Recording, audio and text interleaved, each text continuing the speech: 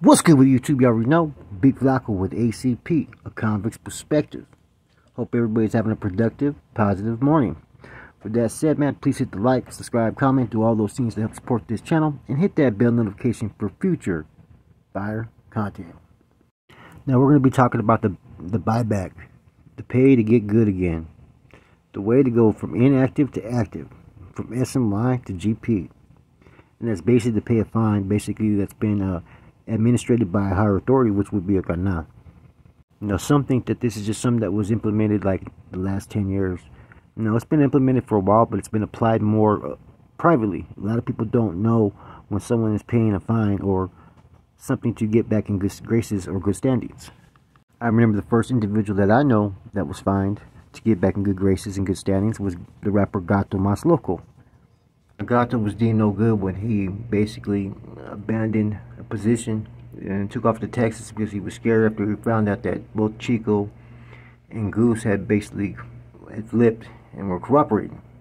And that's how the NF used to utilize, you know, basically the buyback. Was called a fine back then, you know, which they still to this day call a fine, but they would only apply to those that had money or could pay the fee to be back in good graces around this time is when you started seeing people being fined for infractions instead of being disciplined. Okay, you're going to have to pay this much money.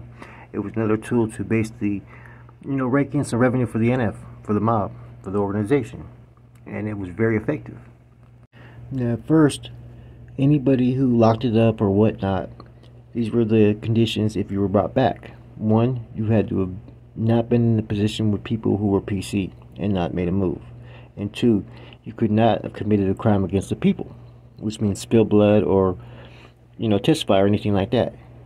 Now, those rules started to change. They started to bring back people that were actually on SNY yards or no good yards. In um, Santa Rita Jail, when uh, Big Happy Cervantes from Lodi, also known as Theo, right? He had brought back two people. One who was previously on the SNY side, who was actually programming in PC in Santa Rita, and who allegedly had been pulled as a rider by uh, Scrappy Diaz, one Jacob Cowan, aka Gangster from uh, Hayward. Now, his family were red and white, and they did not want him as a potential prospect, maybe in the future, to be said that he was in PC. So, therefore, a large amount sum was actually fucking paid. I think it's somewhere between eight to twelve thousand. I don't remember the right figure, but that actually did happen. Then you had another individual named Droopy from Dakota who was in Jamestown programming for a long time. He just stood around and didn't know that he was supposed to get off, apparently, from what he said. You know, he found out later it was a no good yard. He was programming on that yard for a long time, came back to Santa Rita. Happy gave him some Fletcher education, some discipline, and the individual was cleared. Now, I don't know the amount of a fine that he paid, but he had been paying something. Black Steve from San Jose, he was another one who actually paid to be brought back into good graces with the gente. So there's a lot of things I could sit there and tell you guys and put out there that actually did pay to be brought back. But a lot of it wasn't actually put out there. There's been a lot of people who have not been really happy with the pay to get back because a lot of times people feel that certain people don't deserve that opportunity. Some people program their whole time in PC, right? And next thing you know, they want to be brought back active. And a lot of homeboys, you know, especially brother and soldados and ordiners weren't feeling it because they were bringing back dudes that committed serious crimes or just abandoned the gente or did this and did that. Yet now they're supposed to accept them, embrace them. A lot of people weren't willing to do that. You know, it's kind of interesting how you'll have someone who may have committed crimes against the gente, spilled blood, may have did this or did that, but because they have money, they can be brought back. But what about that homeboy that doesn't have money? That was basically fell victim to dirty politics or somebody crossed him up. Yet because he can't pay the fine, he can't be brought back. There's no equality in that. None whatsoever. Now, without saying any names, you got a recent individual, right, that's been on YouTube who's requested for getbacks, right? Yet the interesting thing about this, right, they're willing to pay is that they've clowned on people who paid to come back, right? They've spoken all this negative stuff about it, yet they themselves have now requested to come back. And this is where there's going to be a problem on this because, one, the person was never ever active in prison. Take time in prison, right?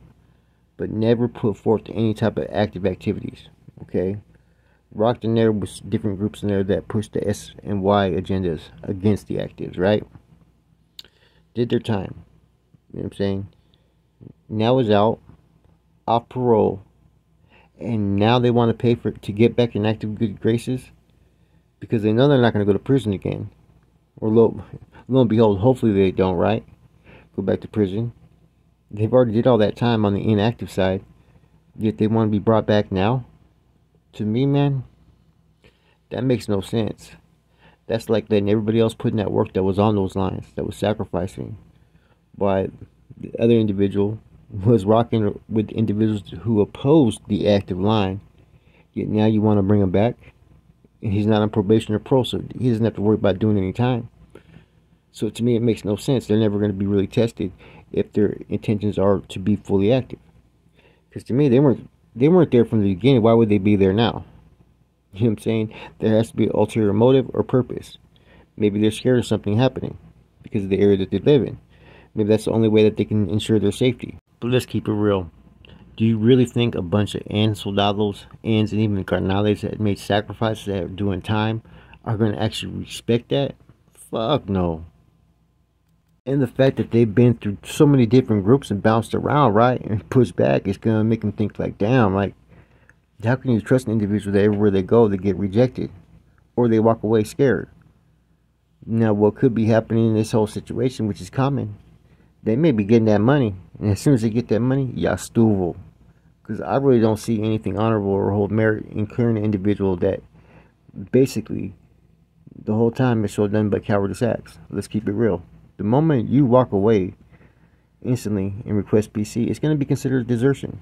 You know what I'm saying? A cowardice act. You can't do all your time on that side, right? Push that line against the actives. And now because whatever's going on where we live, and the attention is there, now all of a sudden want to pay to be in good standings. We'll say this anybody vouching for any individual under those circumstances, they must already be in that man's pockets already. Because that's the biggest fucking joke that I've ever seen or heard of. Someone in good standings now. After off, parole, right? Off probation, and did all that time on the inactive inactive yards, right? PC yards, pushing the agenda against the actives by what they represented to now trying to be in good standings. That's fucking crazy, man. They may even ask him to do like some type of pagada or hit out there on the streets, which I doubt he'll do, right? I know, like in the past, right, they've used people that they already knew we were in bad standings to try to do certain moves and then afterwards deem them. You know, for instance, uh, they did that with Rojo from Hollister.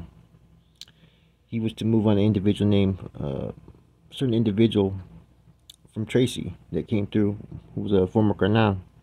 And word had already got sent that Rojo was no good because I sent word in to Corcoran to Silver.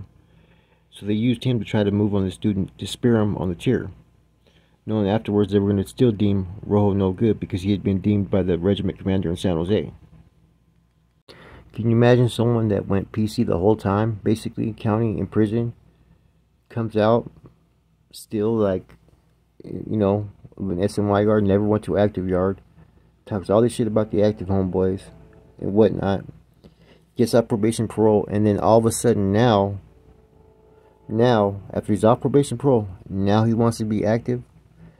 After all those years of other everybody else putting in work and sacrificing on those yards, yeah, they want to bring you back. Nah, I don't. It's not that easy, man. I don't care who's vouching for you. You know, someone from the top's gonna sit there and look at this and say, "Nah, this ain't worthy. He ain't. He ain't earned it." You know, what I'm saying in fact he's thrived up the spoils of, of the people sweating blood, and to think that he can come back after already joining another group, man, that's just not a good look. Anyways, didn't mean to run off of that story too much, but it's all related to the topic people being brought back by paying a certain figure. You know, you got people requesting it. Hey, I want my, I want my get backs. You know what I'm saying? I was on a yard for five years, uh, SNY. You know, um, I was a writer, but not a writer no more. Um, can I be brought back? and some people may consider it and put your name up for fucking review. You know, to each his own. Like I said. Now, the one thing, no matter what, people need to realize that someone brought back by paying a big old fine is never ever going to be respected by their peers, manpower, or whatnot. Even some leadership are still not going to respect them, but they're going to like that money that's in their pocket. So, there will also probably be used in situations where a guy that has to go down or removal or some type of sacrifice may have to be made because I don't see anybody just getting a free ride. Period. It goes back to the conversations I had with uh, Flacco one time, right? Where we're talking about carnalismo and stuff like that, right? Where either you have it or you don't. And that has to do with a lot of people who are trying to come back. Either you had it as a soldado from the get-go or you didn't. Some people made poor choices or bad choices or were put in bad situations to where they made those choices. Others roll those choices right and feel like they don't have to answer for those choices. It is what it is, right? So what do you guys think? Payback? To be in good graces? Never was a fan of it. I'd rather one be brought back by putting in work, by making a name for themselves, by making the sacrifices. That's just my personal opinion. You know, if I was ever in a position to vote on someone's standings, I would look at all that, you know what I'm saying, and just not anybody is worthy of being welcomed back. But I could truly see one making one believe that they could be brought back just to be in their pockets. You know, I seen that when the situation with Lucas Palacios was going on. You know, and there was communications with Angel Palacios to pay like I think it was 50k so his brother could walk the line. They were going to get that money. They were still going to hit Lucas, regardless.